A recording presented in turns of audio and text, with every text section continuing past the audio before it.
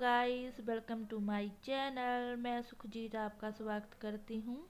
तो आज मैं बनाने वाली हूँ गाजर का गजरेला। तो मैंने जहाँ तीन किलो गाजर ली है, इसे मैं कद्दूकस करूँगी।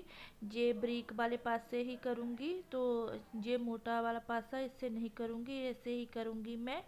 तो मैं जहाँ गाजर छील लूँगी और मैंने बहुत वीडियो देखी है। मेरी बहनें कहती है कि गाजर का हलवा बनाना बहुत इजी है। तो नहीं गाइस बिल्कुल भी इजी नहीं है। ये तो बनाते वक्त ही पता चलता है कितना टाइम लगता है, कितनी मेहनत करनी पड़ती है। तब जाके हमारा जो गजरेला है, वो एकदम टेस्टी बनता है। तो मैं ये गाजर बना रही हूँ। जो गाजर छील रही हूँ, मैं जहाँ बता रही हूँ कि गाजर का एक हिस्सा निकालने से आपका गजरेला सुपर डुपर टेस्टी बनेगा। तो ये देखिए ये अंदर का हिस्सा है वो मैंने निकाल लिया है ये ऊपर का भी मैंने hello everyone welcome to my channel मैं सुखजीत आपका स्वागत करती हूँ। गाइस आज मैं बनाने वाली हूँ गाजर का हलवा। आपने बहुत देखे होंगे गाजर के हलवे खाएँगे खाएँगे भी होंगे। और आपको एक बात बता दूँ, गाजर का एक हिस्सा निकालने से आपका जो गाजर का हलवा है सुपर डुपर बनता है नंबर एक बनता है गाजर का हलवा। तो वो क्या तरीका है? तो ये देखिए ये ये हिस्सा निकालने से आपका जो गाजर का गजरेला है, टॉप का बनता है।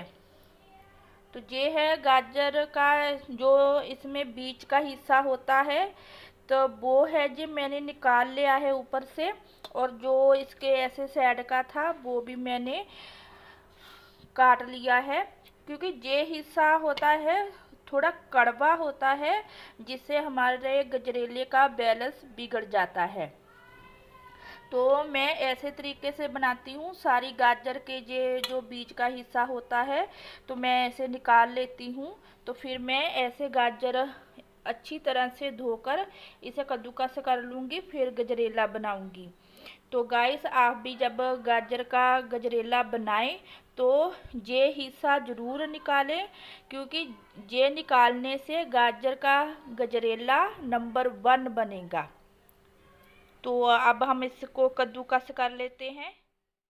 तो मैंने सारी गाजर कद्दूकस कर ली है और इसमें क्या क्या डालूँगी? ये है बादाम, काजू, चीनी तो टेस्ट के अनुसार, और मैंने खोआ लिया है, और दूध। ये चीनी और दूध तो मैं अंदाजे से ही डालूँगी, क्योंकि ज़्यादा दूध भी इसमें अच्छा नहीं है तरी तरी सी नहीं बनानी है हमें।